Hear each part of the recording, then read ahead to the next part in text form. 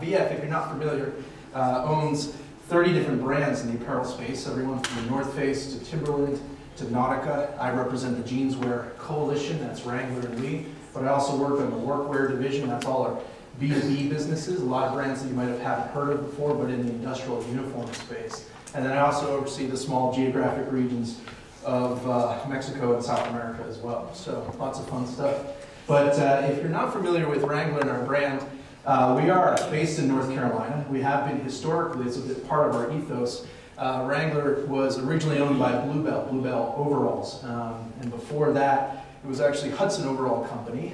Uh, it changed its name uh, to Bluebell because of its relationship with train engineers. Actually, if you're not familiar with Greensboro and the, the train line that goes straight through Greensboro, there was a time in history where um, the train engineers used to go into the Hudson Overall factory to buy their overalls, and they developed such a rapport with Mr. Hudson, the owner, that they uh, gifted him a bell from, as you can imagine, the, the engine of the, uh, the train. Now, they hung that bell in the manufacturing floor, and like every good textile factory, this fibers, uh, particulate started floating in the air, and it was blue dust, and it gathered and collected on the uh, on the bell, and became blue, and then hence they renamed the entire operation Blue Bell Overalls. Um, gave birth to Wrangler in 1947. We became the rodeo jean of choice. We have strong origins in Western wear, um, and you can see some of the, the current brand representation there you know, I, speak romantically about that, that blue hue over the bell because in all reality, that's a very uh, big environmental human health issue in, in, textile manufacturing that we'll revisit in a second. Um, but if you haven't seen our national advertising campaign, uh, I agreed to come as long as I could sell you for 30 seconds. So let's just do this real quick.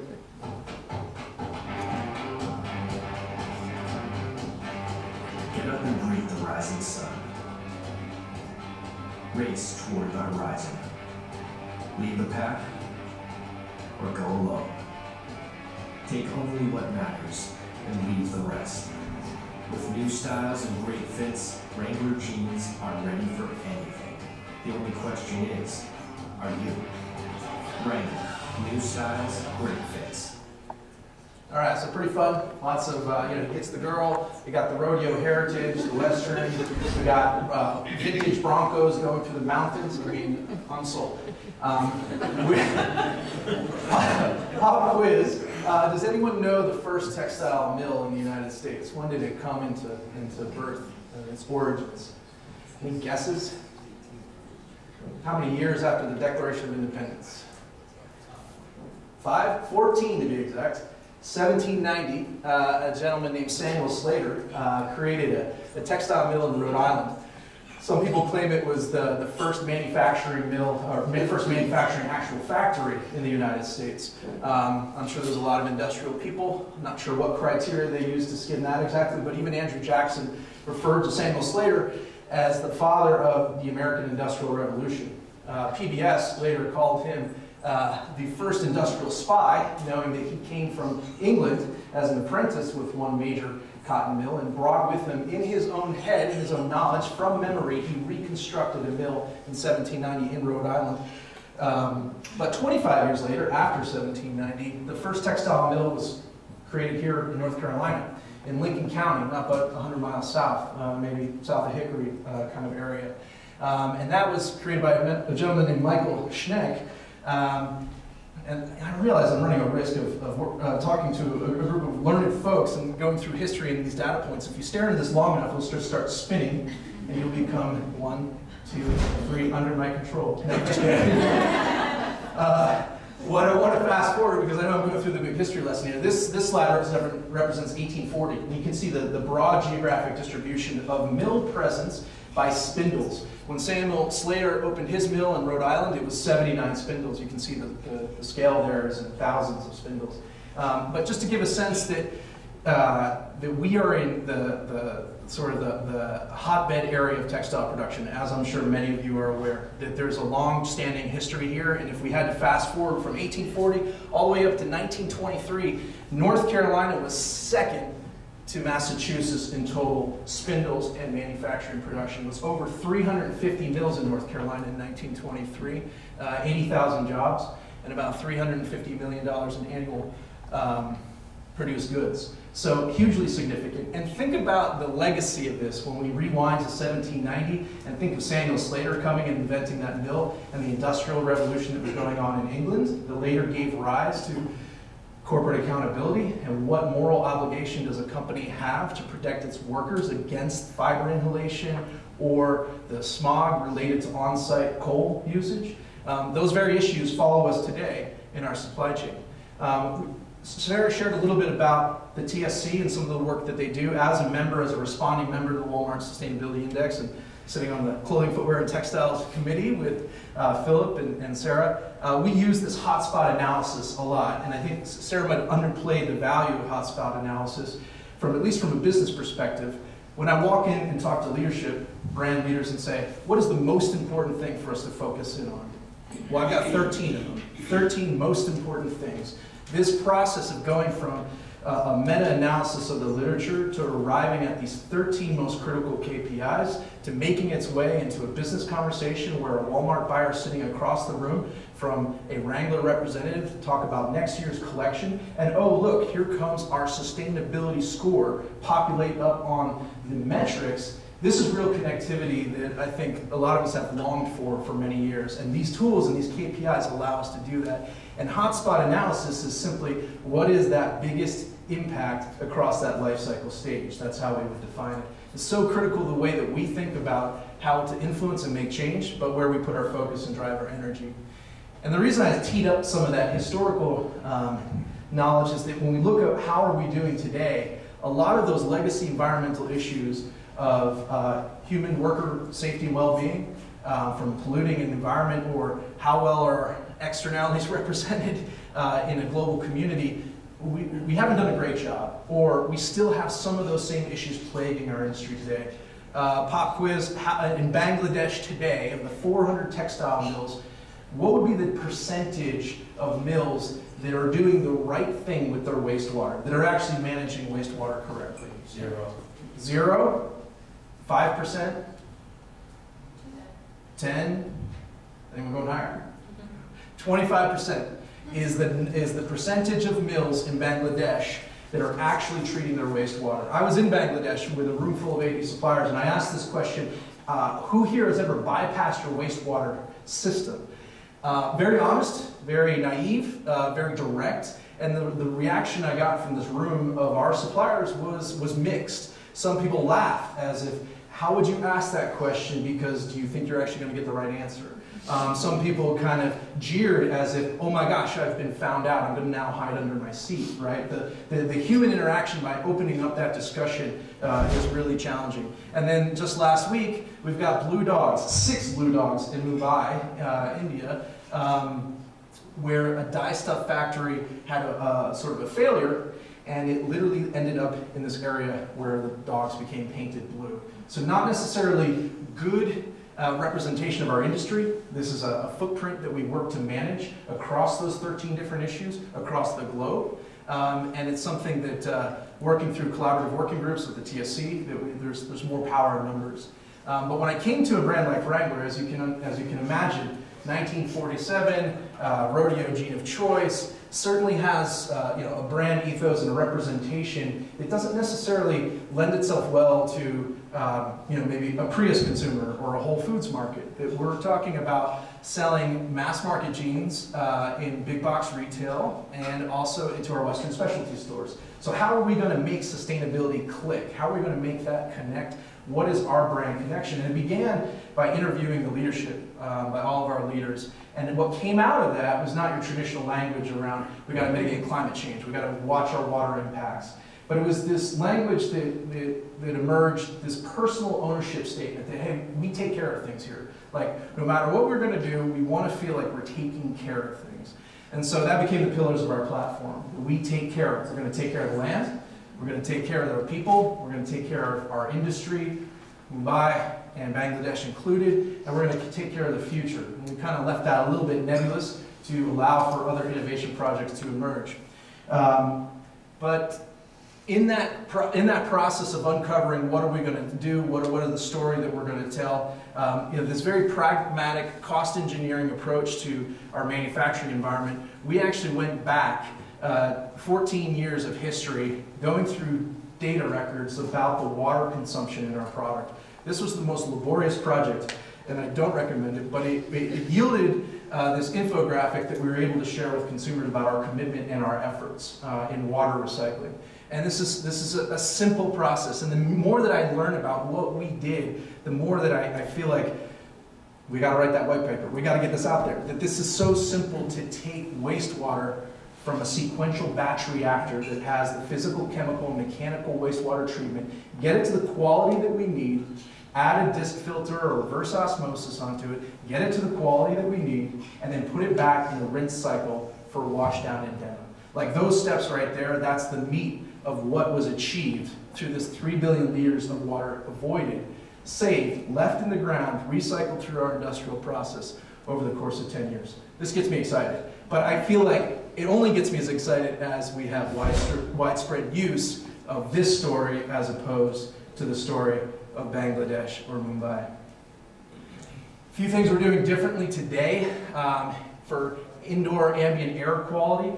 The denim and all the fun striations and character that you see, this is called whiskering right here, and all of this, this detail that we pride ourselves on. That's done by these operators right here that are working in front of inflatable legs uh, with the denim, and they're actually sanding with sandpaper and other abrasive tools to get that visual characterization.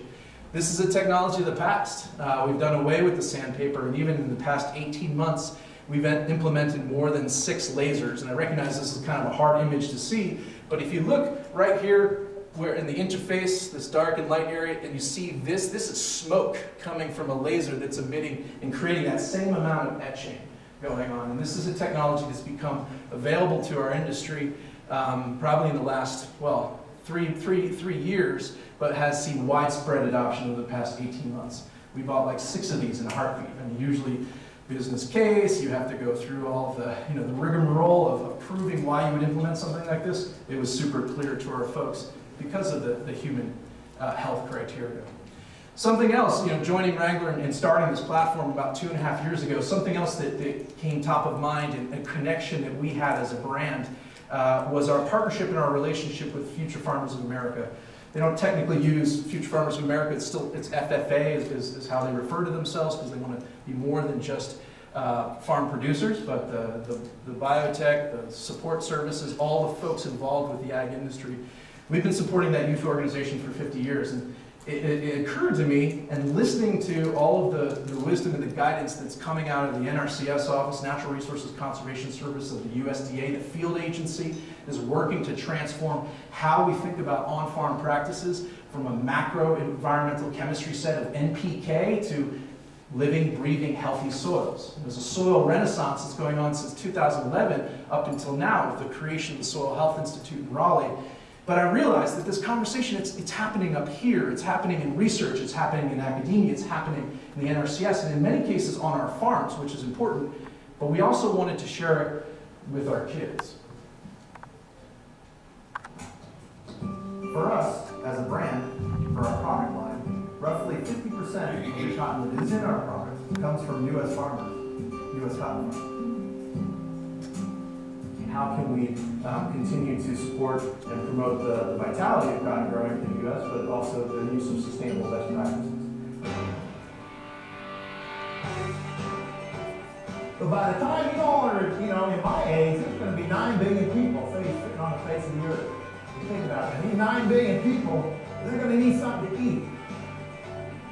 Consumers are wanting to know where their food comes from. They're wanting to know that what they put on their mouth and on their body is not having a negative impact on the environment. By looking at these healthy soil systems and, and actually going into production agriculture, it's really about reducing your inputs and, and your, your environmental impact. With the growing population and with everyone being concerned about health and farming practices, I just want to do it the best way possible, the healthiest way possible. I like that what Wrangler's doing today, you know, it's not just all about jeans and marketing and a business to them. They're really getting down back to their roots of where their where their jeans are coming from, where that cotton's coming from. It comes right back down to the farmers. Dairy prices are down, crop prices are down, and the farmers don't learn how to manage inputs and and actually function the way nature was intended, and they're not gonna make money. Soil is a living, breathing thing that's processing life and has life in it. It's, we rely on that a lot. And so people can be more aware that pretty much everything we do depends on soil in some way. That's that's step one. if we don't take these practices on and start looking at the soil instead of looking at the next piece of equipment we need to run across the ground, we're gonna have problems. If we can produce more cotton, better cotton, then Wrangler's going to have more products to make. They're going to be able to make better products, better products that are going to clothe people better, that are going to be more sustainable so that we can continue to conserve our resources, so that we can keep producing things for as long as we all live.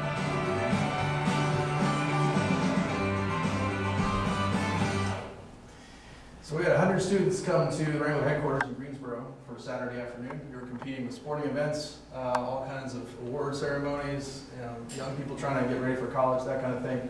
And the, the energy that came out of the room, you would think some of those people were pre-scripted or we gave them lines, right? That was the result of a day's worth of training, it was just their enthusiasm and their excitement about participating uh, in a soil healthy, healthy soils platform. Um, and when we think about what that means, uh, and I think a lot of times sustainability and, and, and the metrics and some of the KPIs we use are focused on you know, squeezing more widgets out of the same amount of resources. There's nothing wrong with that, but I think what gets me excited about the, the ability to tell a story around healthy soils is that it's, it's about us feeding the land and not necessarily the land feeding us. It's, it's kind of the inverse relationship. And the number of farmers that are gravitating to these approaches uh, are, are significant. Um, uh, some of them are, are relying upon uh, older, you know, an older sort of way of life or tradition of thinking of, of, of stewardship. And then at the same time, there are some young people who have gotten away from farm that have come back to farm because of things like this. And it's an amazing transformation when they, the certain group of young farmers feel that they can have a, a role and a part in being a part of a bigger solution. Um, so what are we talking about specifically? We're talking about organic production, right? No. Well, we're not talking about organic production. Organic in the cotton supply chain up makes up less than 1% of the global supply. It's cost prohibitive for us. It's, it sells at a, a buck 20 a pound, double. Um, in some cases, uh, organic cotton production uh, still needs to work out some kinks, meaning you can still spray arsenic in organic production uh, because it's a naturally occurring thing. Arsenic, organic, doesn't make sense. Uh, we're focused on an agnostic system. We can use healthy soils platform in either an organic or a conventional growing system. The focus is the earth. The focus is the land and land management practices. We're talking about crop rotation, and not just any crop rotation, but complex crop rotation. Three different crops in the same area of land over a five-year term. That's complex crop rotation. By changing up the crops, you're not allowing that pest pressure to develop in that soil structure in a way that's going to compromise future yields and profitability. Cover crops in the off season between the harvest by planting uh, beneficial cover crops. Now, wheat and rye are the most common, but these multi-species cover crops are coming into play. You're creating uh, opportunity to drive nitrogen back into soils, to keep that soil um, aerated and to create you know cavities in the soil from the root structure and what have you. Uh, in Tennessee, they're actually using the sweet potatoes. North Carolina is like number one in sweet potato production, by the way. But in Tennessee, they're using the turnip and the sweet potato as an off-season crop to create deep crevices and channels to penetrate and allow water infiltration to get into their soils.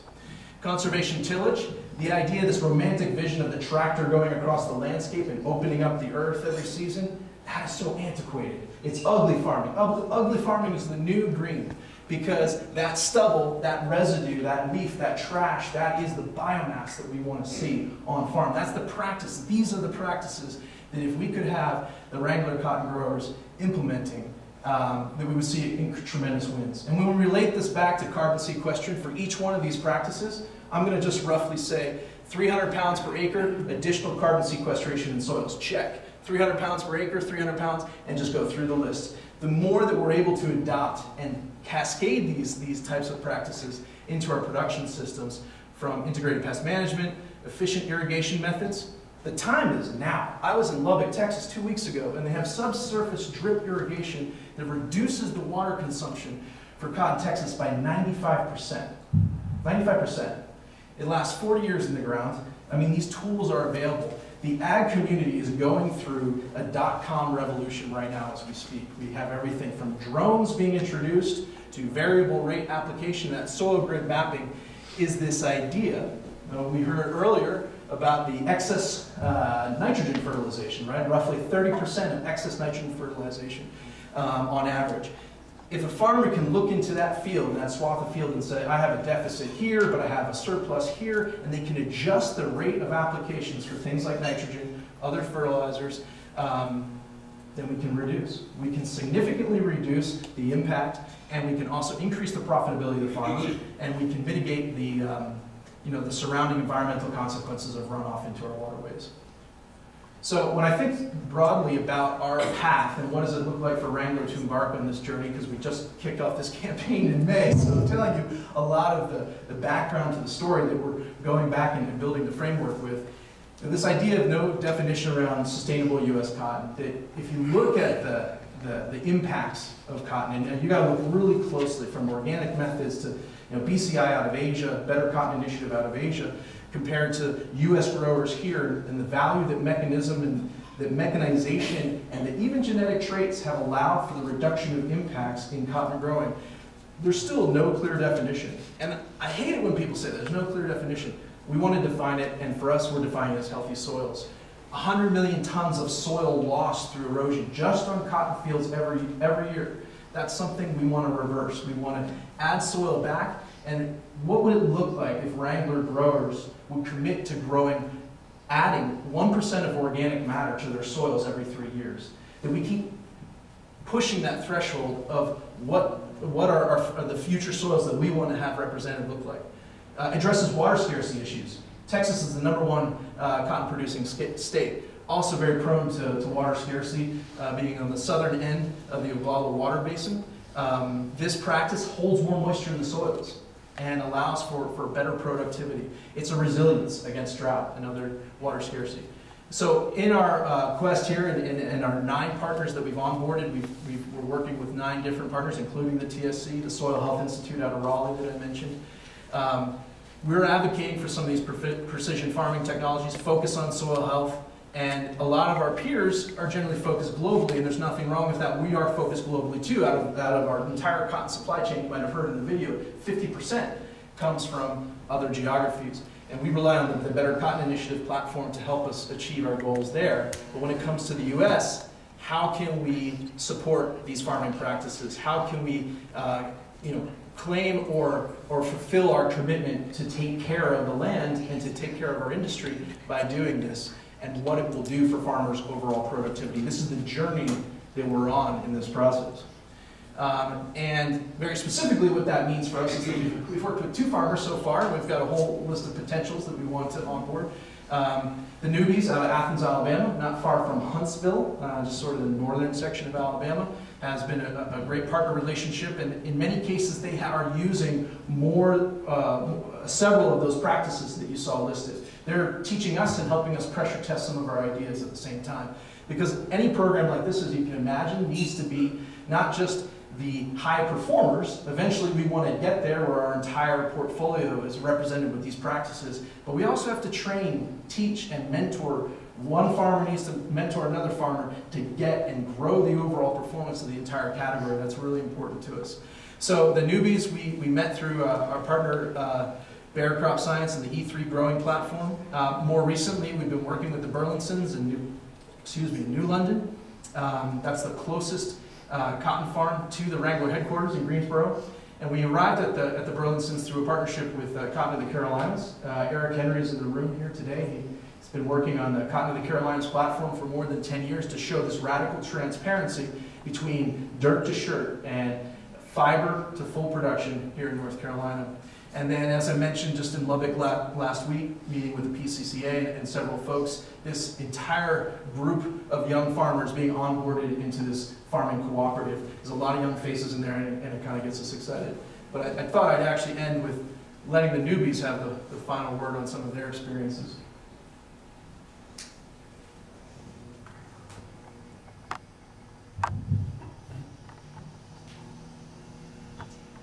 Every farm in this county is generally a family farm. Two brothers, daddy, children, uh, It's just, it's just part of life. You've got to have somebody who's covering for you. You've got to have somebody to help you.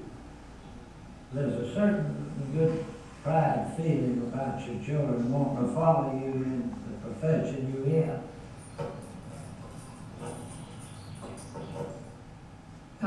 Has always been a part of our family farm, and it probably always will be.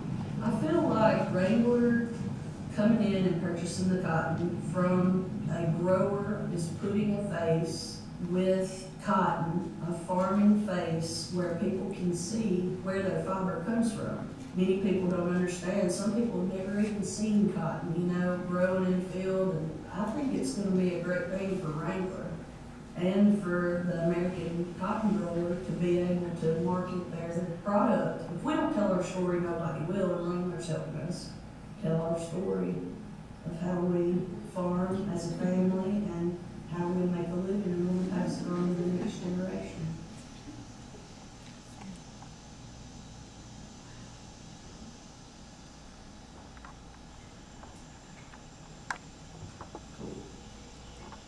I got to spend a week with the, with the Newbys in Athens.